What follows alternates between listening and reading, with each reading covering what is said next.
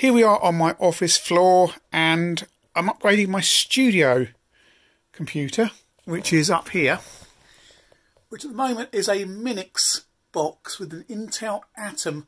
I think it's 1.4, not megahertz, gigahertz inside.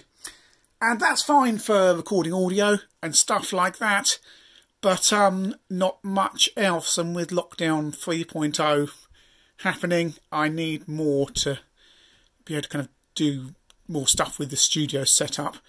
Um, work-wise and Vision stuff as well, perhaps on streaming, who who knows. But um, yeah, that box only ever bought for recording audio and uh, does the job admirably from the mixing desk via USB, but uh, can't do much else. So, Steve Green of Vision kind of supporter fame and the Patreon, uh, the Discord feed, recommended this CHUWI box, um, which is about £200. Like the Minix, it's silent, which I need for the studio because I don't want noise. And um, it should just be about powerful enough to do um, a little, bit more than what I can do at the moment. It's a Celeron inside, which um, some people might go, ooh, but apparently it's a, quite a good one. Uh, so it's not going to play uh, latest games like um, uh, uh, Doom. Doom. It's not going to play latest games, but it's going to be fine for productivity recording, a bit of webcam stuff, and possibly OBS Studio. Who knows? But um, yeah. So we've got this little box. It's about two. I think it's two hundred nine pounds. On the side, it, it's got a HeroBox Mini PC. I've got it with Windows. Uh, my Minix box is Linux.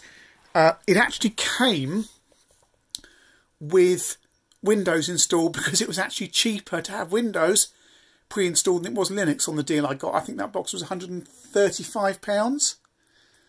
Um, I got a really good deal. As I say, came with Windows 10, which was just useless on it, so I put li the Linux install on it.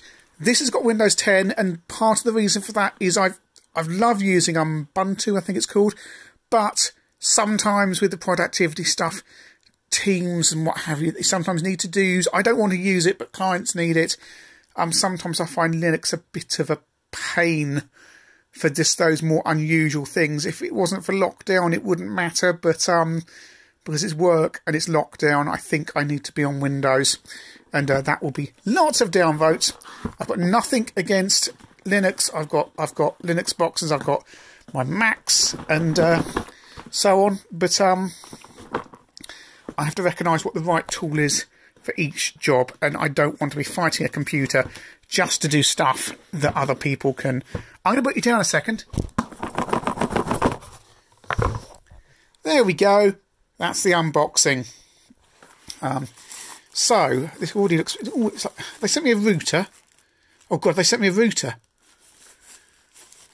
No, that looks like it. Um,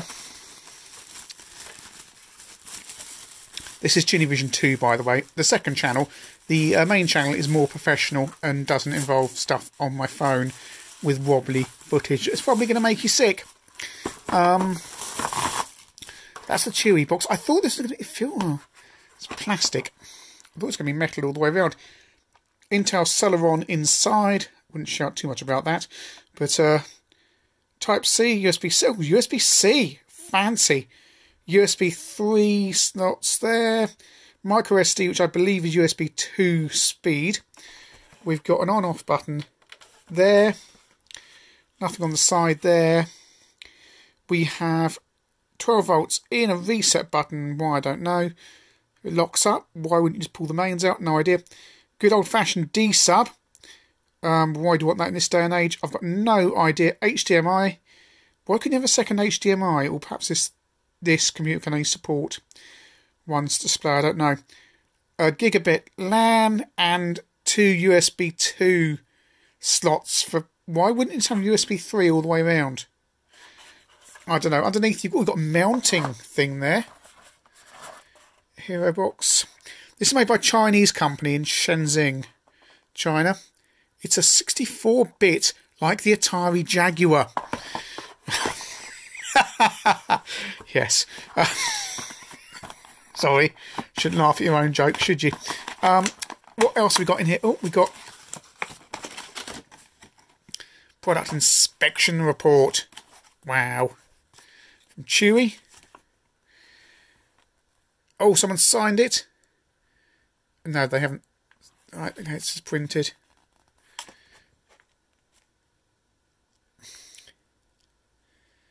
This is fanless, if I didn't mention that. We've got a uh, made in China. Ships from a UK warehouse next day on Amazon. Um, don't put another order in at the same time like I did for something else and then find it's going to take two weeks. That's going to be the power supply. I hope it's a decent quality one. Ah. Oh, oh. So we've got a power supply there, looks like an Apple one with a UK bit on the end there. And some oh, brackets. Is that for mounting the main unit on something? Interesting. And that's about that's about it really. Polystyrene in there. So it's not, it's not the smallest box in the world. It's bigger than the the Minix, but uh, and the Minix is all metal, but uh, considerably more powerful, which is what I need really. So I'm going to plug this in, have a play, and I will add something onto this video um, in a little bit about performance and, and stuff like that. Um, yeah, again, the Minix is. I, I've got to stress this. It's a perfectly fine box if you just want basic stuff, but um, yeah, the modern kind of webcam stuff. I zoom. I was doing Zoom today, and it was playing up merry hell. Um, on the sound kept on breaking up, and it, it is the box. Um, it's just not quite powerful enough. But um, yeah, I've quite liked it. Apart from this stupid Wi-Fi aerial off the side, which is like huge, bigger than the entire thing, really, which is nuts. Um, but Nice construction, all metal. Um, does get a little bit warm. I guess this is going to get warm. Um, I assume there's a honking great big heat sink in there. Uh, one other thing about this apparently is you can uh, undo it and put your own SSD in there. And the SSD, well, there's two important things about this box as well. It has dual channel memory, which is apparently important for PC nerds, but to your eye means it runs faster. And uh, it's got a genuine Intel SSD inside it already, but you can actually add your own as well, should you desire. But um, I'm going to have a play with this and boot it up and, and see how see how it goes. Right, so I've gone for a little bit of reconfiguration here ahead of a first boot, move things around, um, and the monitor should come on. So let's try the computer. So we get a little blue light coming on. Of course, it is completely silent. Fans you can hear in the background are my NAS over the other side of the room. Is the monitor going to come on? That's the question. Uh, oh, there's a light. Oh, here we go. CHUWI. Might be pronouncing that wrong. If you're familiar with my studio, by the way, I have also upgraded the screen here. This BenQ. It's not the best screen around, but uh, the price was very, very keen. And it does everything I need. And I didn't want... Actually, I could have got something slightly better, slightly larger, but this is already pushing it for size in this space. So um, pretty good. It's difficult to get very small LCD or smaller LCDs in this. My existing one's 10 inch. Um, so the other side of the room at the moment. So we're now going to be setting up Windows. I assume it's Windows 10. Um, I've got a couple of other Windows 10 boxes running on ooh, old processors. I don't really understand how processors go these days. So if you're kind of watching this thinking um, this is some kind of expert PC review channel, I'm very, very sorry. Uh, the as far as my expert PC reviews go, they're usually 486 machines. I'm not these fancy modern ones. That's it. I've got an i5 for my office stuff. Um, apparently the latest one's an i7. Um, but there's so many different versions that actually this machine here will out benchmark my i5. Continue in selected language. Has it picked up the wireless keyboard? No, it has not. Has it picked up the mouse? No, it has not. Okay, well I've got some um, fiddling to do, but we will continue with setup uh, shortly. Setup is so utterly painful. I've been asked a load of stupid stuff I don't need, but the latest thing is find my device. Found it. Oh, what a lot of rot. I mean, Microsoft really slim this and, and pins and all sorts of rubbish. Just want to get on and use the computer. It's just only a simple studio PC. You ain't getting that, sunshine. Improve inking and typing. I mean, no, uh, no, no, no. No, I've said no already to this. No.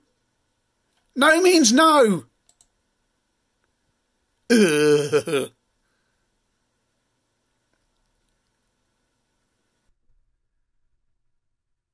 Hello, it's nearly a month on from when I last spoke to you about the CHUWI box. Things have changed a little bit here because at the moment my Windows 7 box is down there and you're watching this on a webcam. There's also the screen grab going on there.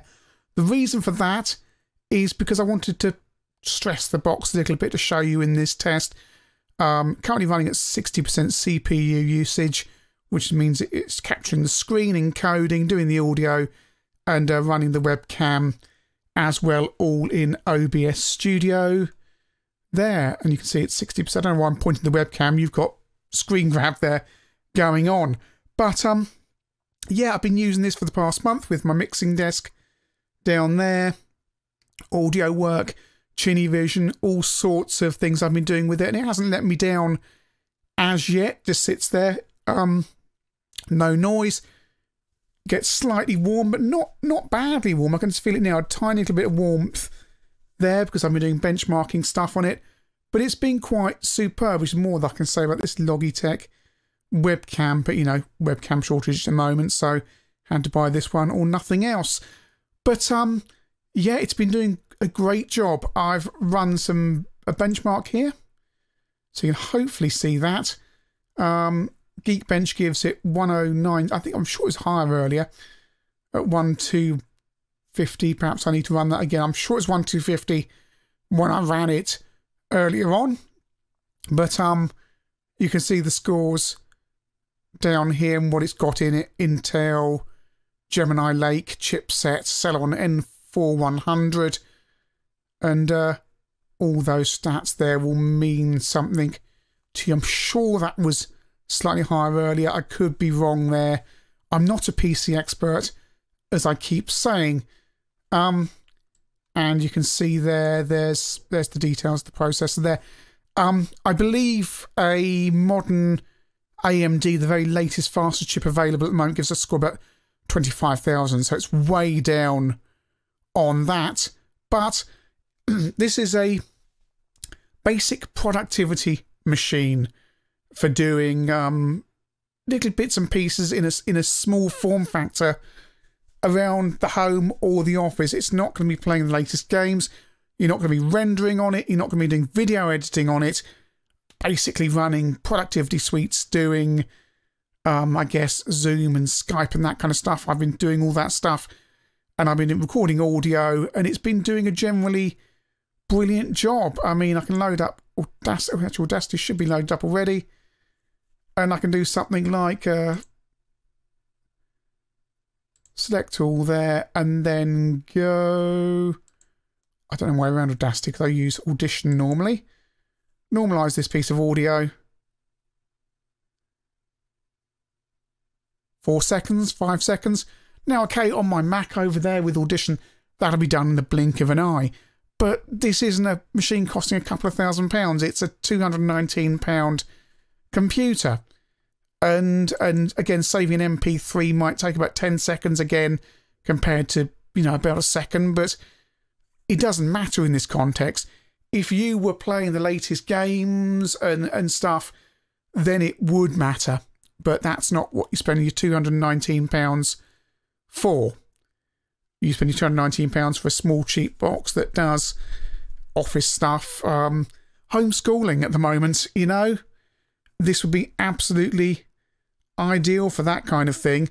So, and again, for the streaming here, well, it's sitting at 60% CPU. Okay, I'm not actually streaming as well. All I'm doing, actually, let's hit start streaming. I don't know where I'm going to be streaming to. I don't know where I'm streaming to at the moment, but um, probably Twitch. I la- I think I last used this on, and uh, okay, it hasn't it hasn't adjusted the CPU at all, so it's still sitting about sixty percent there. So you know that that's fine. So overall, I think despite the relatively uh, low specification of this box, it's far more useful than the Minix box was.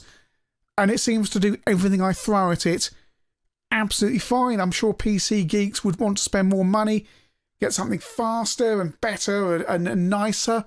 As I back away from the microphone with the camera, see I look the microphone's there. But this this just works for me in my studio setup here. So, you know, I'm quite happy, and for the money, I think it offers excellent value for money. Um, if I have any problems, of course, I will report back. But for £219, I think the CHUWI HeroBox is really a bit of a steal.